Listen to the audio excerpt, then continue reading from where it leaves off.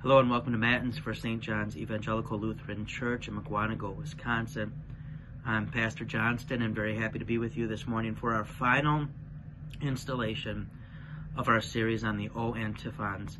Uh, the O antiphons are the seven antiphons that the church sings or celebrates um, at the end of the Advent season as we prepare to celebrate the incarnation of Christ on Christmas Day and Christmas Eve. And our antiphon for today, for December 23rd, is O Emmanuel, our King and Giver of Law. And so with that, we will continue with the order of Matins. If you're following along at home, it's on page 207 in your blue Christian worship hymnals. O Lord, open my lips, and my mouth shall declare your praise. Hasten to save me, O God. O Lord, come quickly to help me. Rejoice, your King comes to you praise and thanks to God. O come, let us sing to the Lord. Let us make a joyful noise to the rock of our salvation.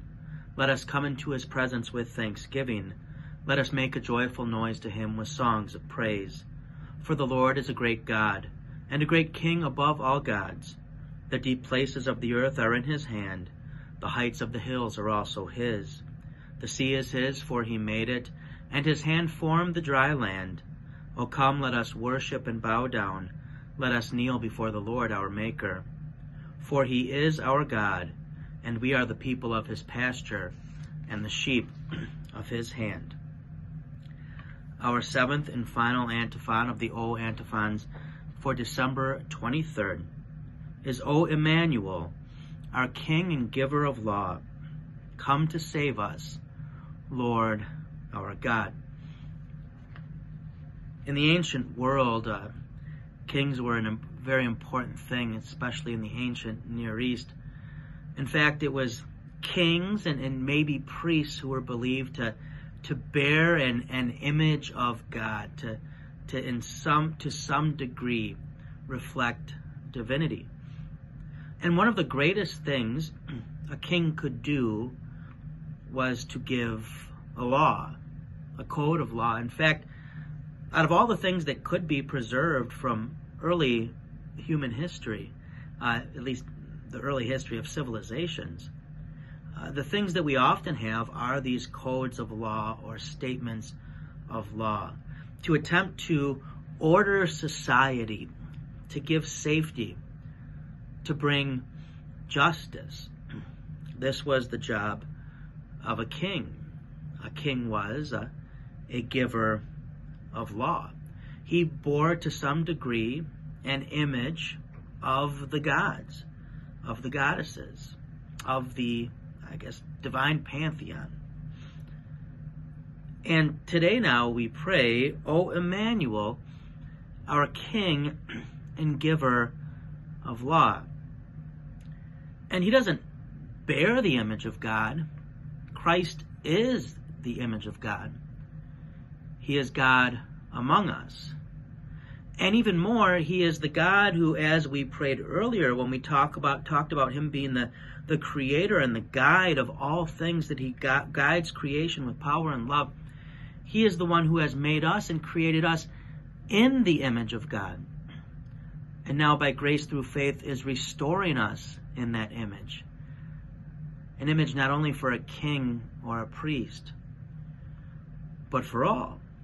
And he is our king and giver of law. Not, not giver of law simply in the sense of do this and don't do that. That's not the main reason Jesus came. We, we had plenty of laws already, both from God and, and from the world. But he brings justice. He brings righteousness. He brings safety. He brings peace.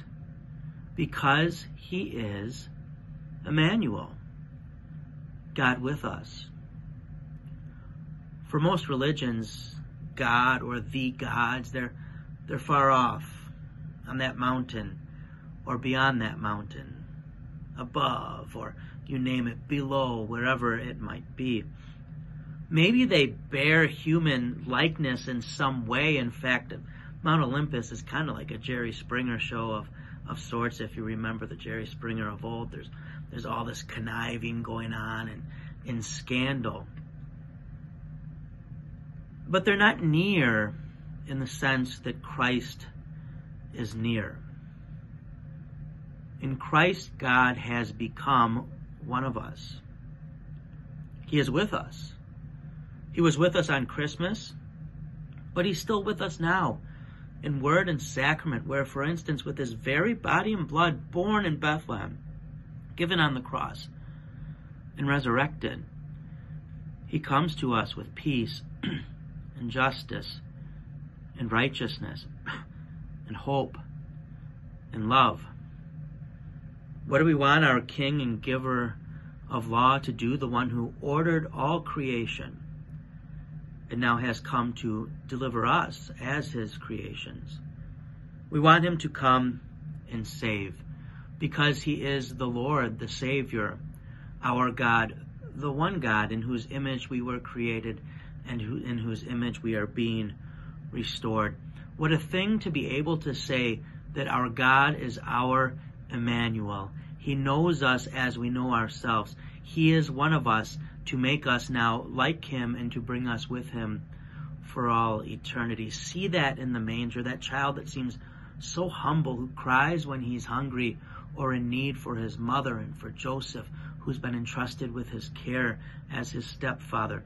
That simple, that humble child, yet is God with us, has come to us who are so weak and frail and must cry out in need so often, has come to us to give us justice and righteousness and peace and safety and hope as our King, as our giver of law, but most importantly, as our Emmanuel.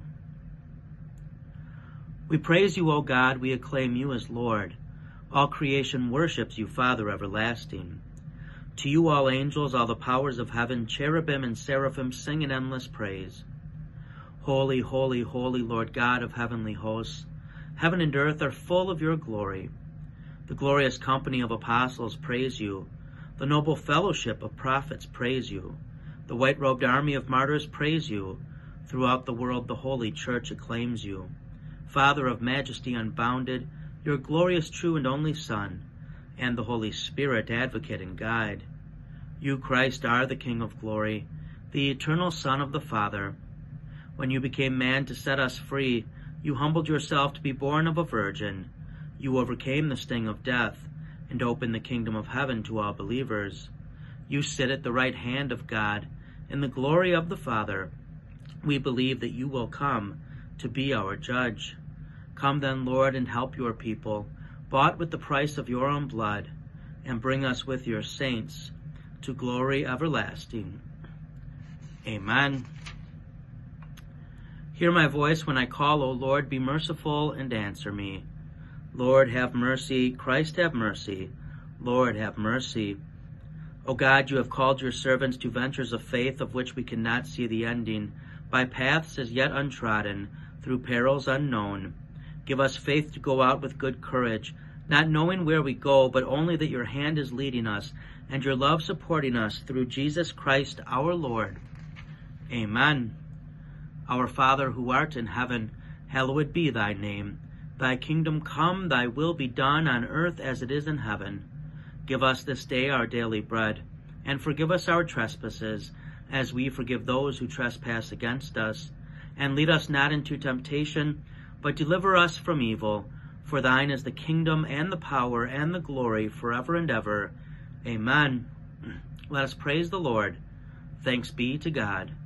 The grace of our Lord Jesus Christ and the love of God and the fellowship of the Holy Spirit be with you all. Amen.